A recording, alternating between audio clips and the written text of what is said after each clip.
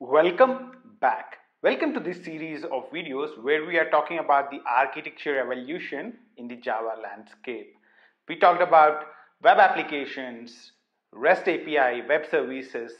Um, we talked about full stack applications and now we are talking about microservices.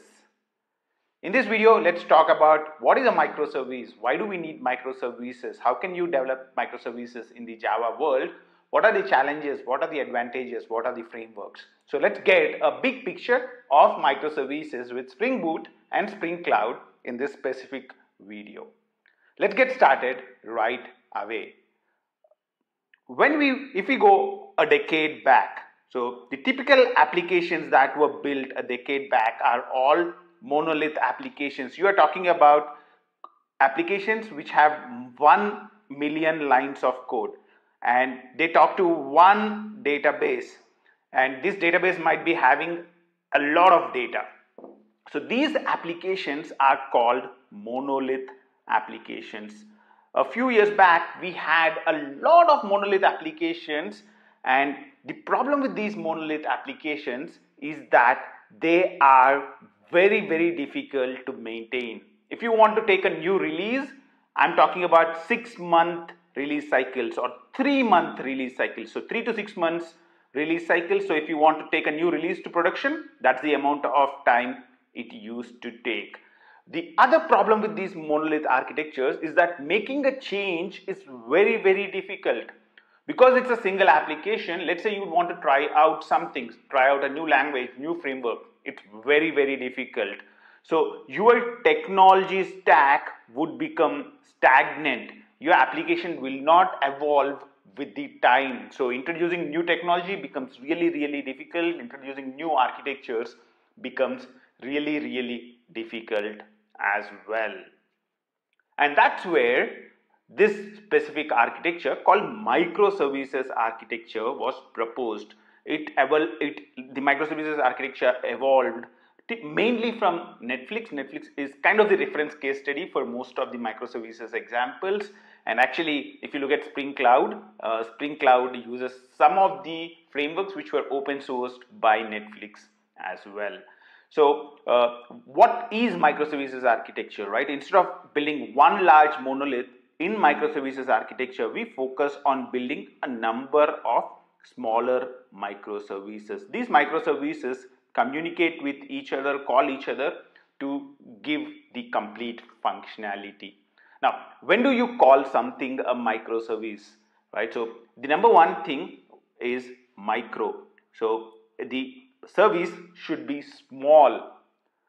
The next thing is an API. Each of these services should be a service. I mean, micro plus service. Service stands for an API. So each of these should be API based and typically stateless, right? So whenever we talk about REST API, we talk about statelessness. And the other most important factor is that each of these are independently deployable. What do I mean by independently deployable? You should be able to take a specific microservice live. So let's say this is 1, 2, 3, 4 and 5. I should be able to take a microservice 2 live without bringing down any of the other microservices. I should be able to independently build the component, take it through the life cycle of it, dev, QA stage and production and then deploy it without a problem on its own. So that's independently deployable microservices. So for me, the most important characteristics when it comes to microservices are micro, small APIs based on REST API or any other APIs uh, independently deployable. You can take each one of these live. So those are the three important factors when it comes to microservices. The last one is now becoming an important thing, cloud enabled. What do you mean by cloud enabled? The basic thing is to make the best advantage of the microservices, you should be able to deploy them to the cloud and connect them to the services which are provided on the cloud. So that's where cloud enabled becomes an important factor. So if you look at the motors, microservices, most of them are cloud enabled. You should be able to deploy them to the cloud and provide and make use of all the features which are provided by your clouds. Now, what are the challenges? So what are these these things which we are talking about until now are the characteristics of a microservice. So characteristics. And the next thing that we would be talking about are the challenges associated with microservices. So when we talk about microservices, it does not come free. There are a number of challenges that are associated with building your microservices architectures. Instead of building one microservice, we are building five microservices. So you should be able to build the applications quickly, right? If I, say I would want to take two months to build the microservice, to set up the framework for the microservice, that's not good. There should be a lot of automation because each time a microservice comes into picture, it should not take uh, a lot of time to set up the environments, to take it live and all that stuff. So everything starting from how you build the application to how you take it live should be completely automated. So everything should be automated.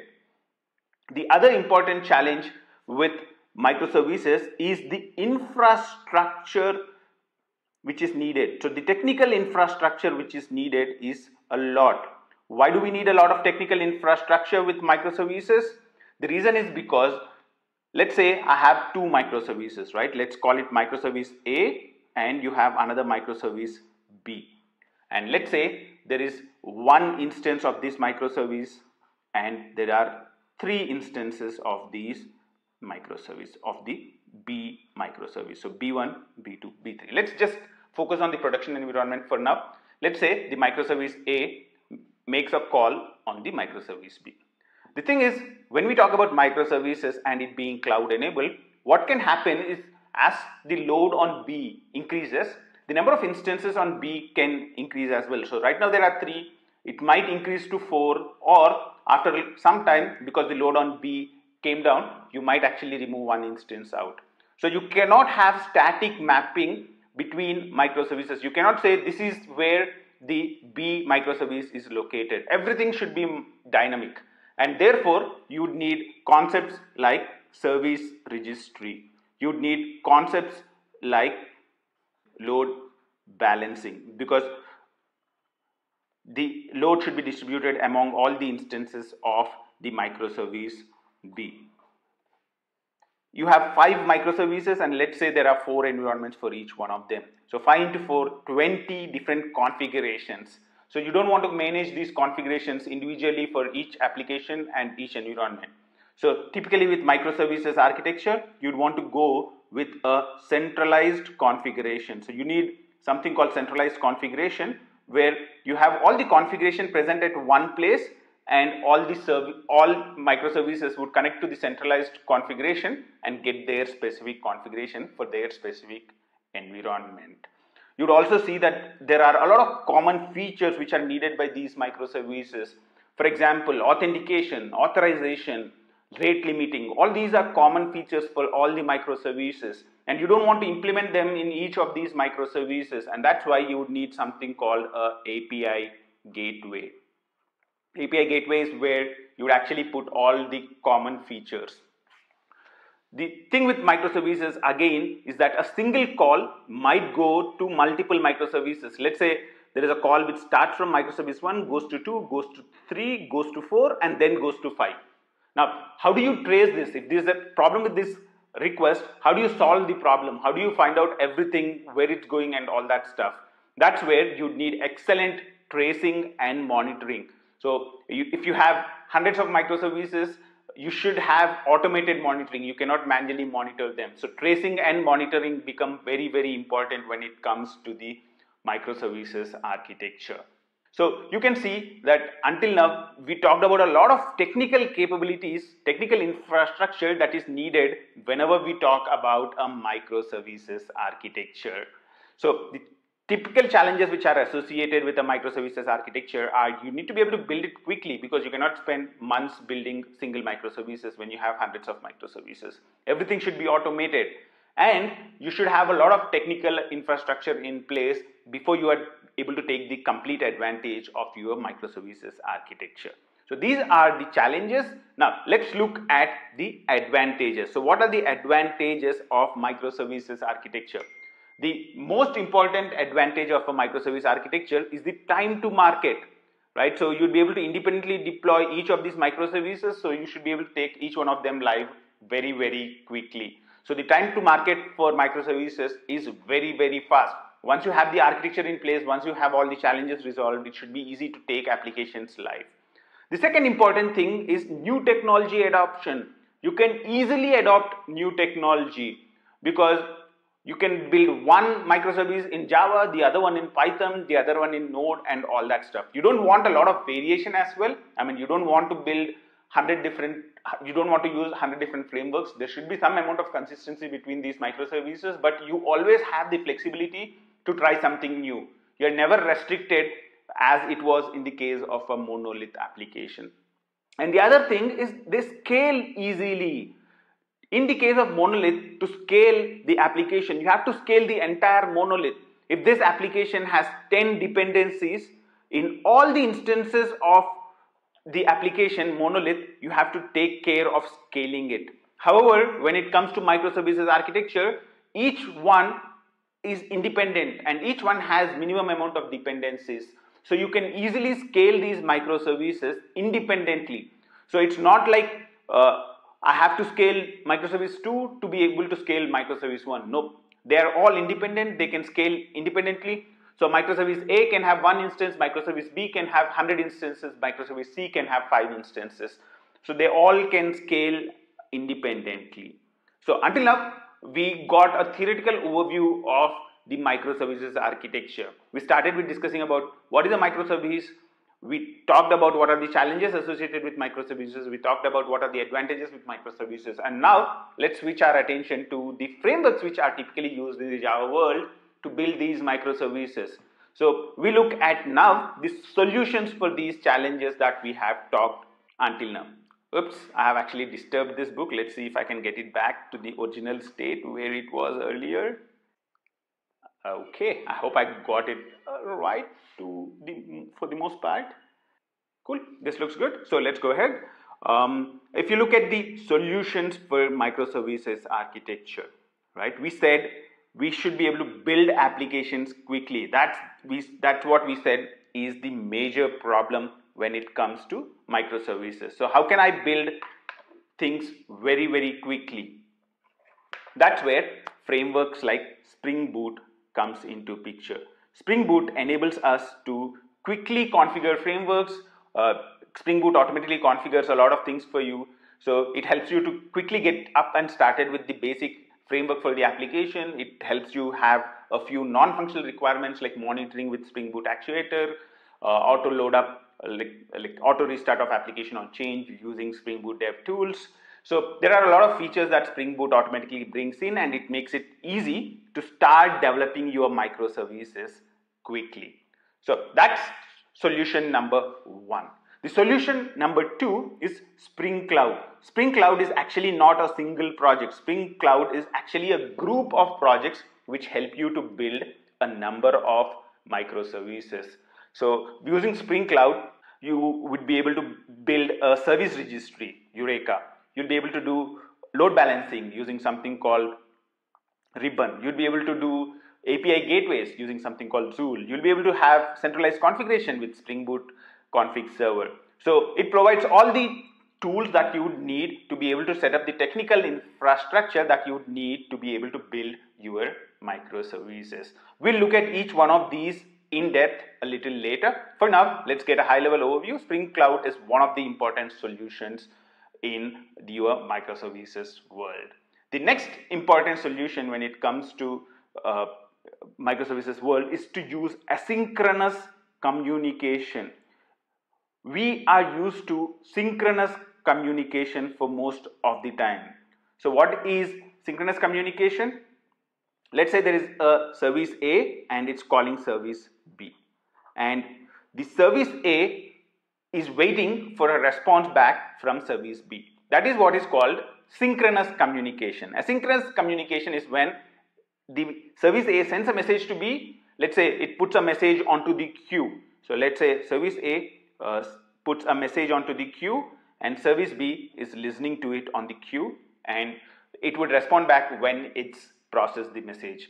and the service A is not really worried about whether service B has is sending a response or not. That's basically what is called an asynchronous communication, where the communication is not at synchronous. Uh, the service A can still be working even if the service B is down. Now, the thing is, this is a big mind shift because asynchronous communication needs a change in how we design our applications. For example, let's consider a simple example of an asynchronous communication. Let's say you are uh, getting an order from a user and what we would typically do when we get an order from the user, you need to actually check if the stock is available. So we, let's say we have a stock service which does that.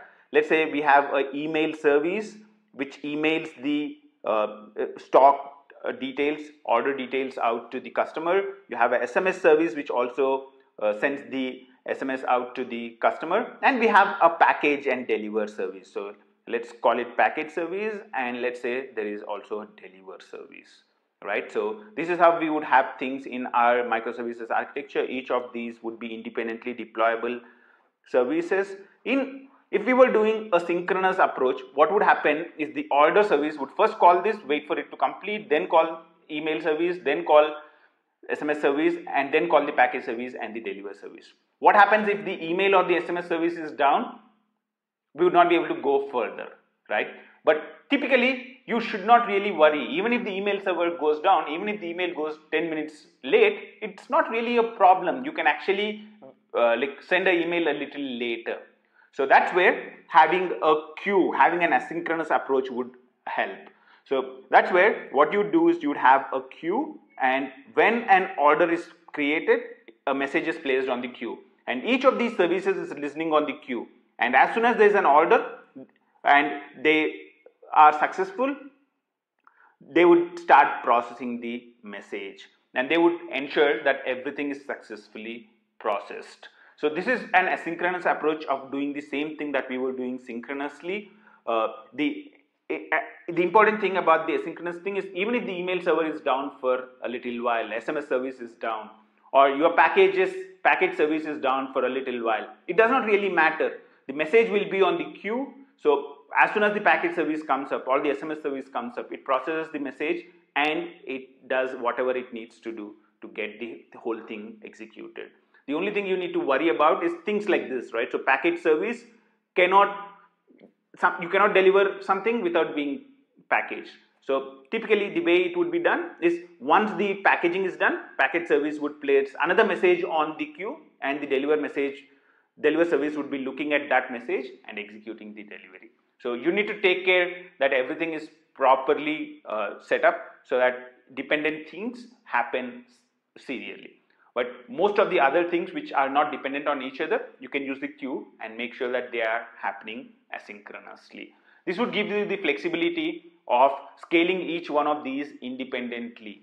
So let's say there are a huge number of SMSs that needs to be sent on a specific thing. What you can do is you can scale up the number of instances of this SMS service and started start processing whatever is on the queue. So that's asynchronous communication. With microservices, asynchronous communication becomes very, very important. The other important tool when it comes to the microservices world is Docker. Why is Docker important? We talked about the fact that each of these microservices, one, two, three, four, five, are built in different technologies and you cannot have different deployment approaches for each of these. You want a consistent way of packaging these and deploying it. And Docker makes it easy. So Docker provides a consistent way to package your microservices so that you can actually take them and deploy them. So with Docker, you can create a package for a microservice and put it to your Docker registry and that's it. You can take that and deploy it on anywhere which supports Docker runtime. So any place where Docker runtime is available, you'd be able to run those stuff. And the next important solution when it comes to uh, the microservices is cloud specific orchestration. We'll talk about cloud specific orchestration, Docker and Kubernetes in detail in the subsequent videos. In this video, we'll just get a high level overview. What is cloud specific orchestration? What I mean is when we talk about Docker, we said each of these will have a Docker container. And let's say there are five instances for this, 10 instances, 15 instances, 20 instances, 100 instances. You should keep monitoring them. If an instance goes down of instance uh, of microservice 3, there should be something which is monitoring it and bringing the service back up. So if there are five instances, two instances go down, you'd want to bring up two instances. If there is more load, you'd want to bring up new instances. If there are if there is less load, you'd want to take a few instances away. This specific thing is called container orchestration. So uh, typically when we talk about Docker, what we create for an application is called an image. So for each of these microservices, we create an image and each running instance of an image is called a container. And the container orchestration is the process of orchestrating these, monitoring them, making sure that the right number of containers are up and running for each of these microservices. The container orchestration on the cloud can be done using cloud specific things. So if you look at the clouds which are present, AWS, you have Azure and you have GCP.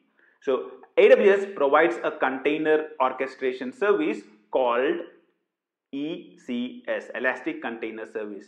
Uh, there is also a better version of ECS called Fargate. So these uh, like Fargate is much simpler to use than ECS because in with ECS you have to manage the clusters yourself. With Fargate you will not need to. We'll actually discuss a lot of this stuff a little later. For now, the important thing to understand is the fact that container orchestration can be done in a cloud specific way. So in AWS you can do it with ECS. In Azure you can use Azure container instances to do the container orchestration. In GCP, GCP takes the standard route which is Kubernetes. So the last solution is to go for something like Kubernetes. The great thing about Kubernetes is it's cloud neutral. So if you look at Kubernetes, it is supported on AWS, it is supported on Azure. In AWS, it's called the uh, EKS, Elastic Kubernetes Service. On Azure, it's called AKS, Azure Kubernetes Service. On GCP, it's called GKE, Google Kubernetes Engine. So if you actually base your microservices on Kubernetes, eh, eh, they all become cloud neutral. And the other important thing about Kubernetes is the fact that it provides a lot of these features by default. So Kubernetes has a way to do centralized manage configuration, distribute load, it has its own service registry and all that fun stuff. Now, right now what we'll do is we'll focus on the solutions which are provided by Spring Cloud. Earlier we talked about the fact that Spring Cloud provides solutions for service registry, load balancing, centralized configuration and a wide variety of other stuff, right? So let's look at that right now and in a separate video, what we'll do is we'll start looking at the configuration that's provided by Docker and Kubernetes. We'll look at uh, what are the things in detail about Docker in Kubernetes in a separate video. For now, let's go in to a new page and let's look at the solutions which are provided by Spring Cloud. So let's start with Spring Cloud. I mean, we uh, will not be able to look at all the projects that are present in Spring Cloud. What we'll do is we'll take a look at some of the important ones which are present in the Spring Cloud. So we said there are multiple microservices and these microservices needs to talk to each other and we said there can be multiple instances of each of these microservices I1, I2, I3. Let's say these are A, B and C and let's call this B1, B2, B3 and let's say this is A1 and there is C1, C2. So these microservices should be able to talk with each other and that's where uh, like the instance of B can go down, come up, it's pretty dynamic and that's where a concept called service registry comes into picture. So the service registry concept is very very important and the Spring Cloud provides support for Eureka and another thing called Consul. So the service registry with the service registry what happens is each of these microservices would register with the service registry. So A1 registers with the service registry, B1 registers with the service registry, B2, B3. Every instance of a microservice would register with the service registry. When the microservice A needs to talk to B, what it does is it asks the service registry, where is B located? And it gets, gets back the location of B instances. And then you can actually use something like ribbon. So Ribbon is a client-side load balancing framework. Um, if you use Ribbon in combination with a REST API invocation framework called Feign, it makes it very, very easy to call the microservices. So A can talk to the service registry which is Eureka or Consul, uh, find out the instances of B and then send the appropriate request load balanced out to a specific instance of B. So that's where service registry, ribbon, Feign come into picture. Feign is a framework which is built on top of REST templates. Typically REST templates are used to make the API calls. However, the great thing about Feign is that it makes REST API calls even simpler. And Ribbon helps you to distribute the calls uh, using client-side load balancing among the available instances which are provided by your service registry. So that's number one, service registry. The second important thing is the fact that each of these uh, microservices can have multiple environments. So there might be a dev environment, there might be a test environment, there might be a staging environment, a production environment. And if you're talking about five microservices and 15, like four different environments, we are already talking about 20 different configurations. And if you have hundreds of microservices, there are a wide variety of configuration you would need to store. And that's the reason why you'd go with something called a centralized configuration. So you would want to store all your configuration related to all your microservices at single place. Typically there are two options, either you can store all the configuration for all the environments in one Git repository or you can actually store uh, the configuration for different environments in a specific uh, Git repository. So you can store all microservices in dev in one Git repository, in all microservices in another environment in another repository. That will help you to manage the security of the configuration much easily, but it's also an option to store all the configuration in one Git repository. So what does the centralized configuration server provides? The Spring Cloud config server. What does it enable? it enables you to provide a configuration server on top of your Git repository. So you have a Git repository, you can have a centralized configuration on top of it and each of these applications, each of these microservices, so microservice A, microservice B, microservice C, all of these will talk to the centralized configuration to get the configuration from the Git repository. So the microservice A would say, my name is microservice A and I am inside the test environment. And the centralized configuration would go and look up the right files based on the inputs that were given and it looks up the configuration and returns it back and the uh, configuration will be provided back to the microservice A. A can use that configuration and use it. So this helps you in centralizing everything. So your operations team can focus on managing this GitHub repository rather than trying to do uh, the configuration, trying to make the configuration changes in 100 places. So that's solution number two, Spring Cloud Config Server. So we have talked about service registry, we have talked about Ribbon Feign, and we also talked about Spring Cloud Config Server. The other important thing is API gateway. So uh, these microservices A, B, C, they all need some common features like let's say rate limiting. You don't want a specific client to hit this service more than a specific number of times you want to authenticate the customer. You would want to make sure that the service is authorized, like the guy who's calling the service is authorized to make that operation. All that kind of stuff can be implemented in an API gateway. So before you would actually allow a request to go through, you would actually send it through the API gateway. So if anybody wants to talk through these microservices, what you can do is you can have a API gateway in front of it. And the API gateway, which is typically popular is Zuul. There is also a Spring Cloud API Gateway, which is becoming popular nowadays. So you have that option as well. So API Gateway helps you to implement all the common features around your microservices and this will help you to make sure that all the requests go through the API Gateway as well. The next important thing that is important with your microservices is tracing this request across multiple microservices. So you might have a request which goes to, through five microservices A, B, C, D, E. How do you trace this request uh, across multiple microservices? How do you be able to debug problems when they come up? That's where a concept called distributed tracing comes into picture. And the popular framework to implement distributed tracing is Zipkin. Uh, there is also another alternative for Zipkin called Jaeger. Jaeger, if I can get this spelling right. I guess I got it right. I'm not really sure. So distributed tracing is another important option. Uh, Zipkin, Jaeger. Uh, what happens with this distributed tracing is each of these um, microservices would place a message on the queue. So whenever something happens, they place a message on the queue and let's say it's RabbitMQ and the distributed MQ server would be listening on the queue and it would be like it has its own UI it provides. You can look at the UI and search for a specific message. This helps you to trace distributedly across multiple things. One of the important frameworks which really helps in here is Spring Cloud Sleuth. What Spring Cloud Sleuth does is it assigns a unique ID to each request. So when a request comes in, it says, okay, this is request number 1357.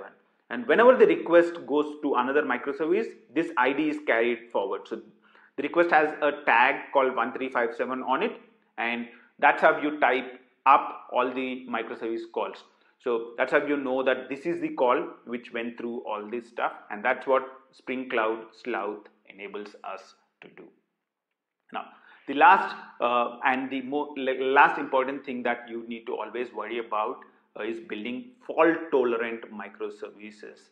What happens in the case of microservices is one if one of the microservices goes down, if C goes down, then A and B are down. So even if one microservices goes down, everything goes down, and that's where you have to build a fault tolerance into your requests or into your microservices.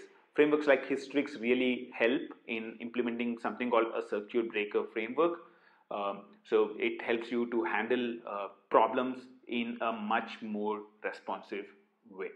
So there you go. Those are some of the very important solutions uh, when it comes to uh, the microservices world. Actually, there is a lot of uh, innovation happening in the microservices world. There are new frameworks like Quarkus, Micronaut coming in left, right and center. So I expect a lot of evolution to happen in this space. The idea behind this video was to give you a big picture overview around the microservices and also take you through to the Spring Cloud world. So we talked about microservices, we talked about Spring Boot, we talked about Spring Cloud. Uh, the amazing thing is we have an amazing course on the whole thing in a hands-on way where you would actually do all the stuff that we have talked about in a very very very hands-on way. So i would recommend you to check out that course. Um, and also there are a wide variety of things that we are creating at in 28 minutes to help you to become a cloud developer. We would want you to learn microservices cloud and full stack and that's where we are actually creating a number of amazing videos to help you do all this stuff. Do check out the playlist uh, where we uh, like continue this uh, talk about microservices and the architecture evolution. So we started with web applications we went to rest api we talked about full stack and now we are at microservices with spring boot and spring cloud. And in the subsequent videos we would be talking about Kubernetes. So we would see in depth about how microservices work together with Docker and Kubernetes to solve the microservices problems. So that would be an interesting thing for you to watch. So make sure that you like or subscribe. So go ahead, do that. And I hope I'll see you again in another in 28 minutes video very soon. One of the frequently asked questions for us is how do I become a full stack developer? How do I become a microservices developer? How do I learn the cloud? How do I become an expert on AWS? The amazing thing is we have learning paths built for each of these and these learning paths contain what are the skills you would need? What is the learning path? How can you start? What can you do next? What can you do everything to achieve your goal? And also these learning paths contain videos and course recommendations with these things. You can find a link to these learning paths in the description of this particular video and you can check out whichever learning path you would want. For example, the learning path 05 is the one which makes you an expert on AWS. So it has the recommended skills, it has the prerequisite skills, it has the recommended course path and also it has recommended preview courses. These are free courses you can do and also it has links to the other learning paths as well. We recommend you to make the best use of these learning paths to make sure that you stay ahead of the curve. Keep learning in 28 minutes. Until the next video, bye bye.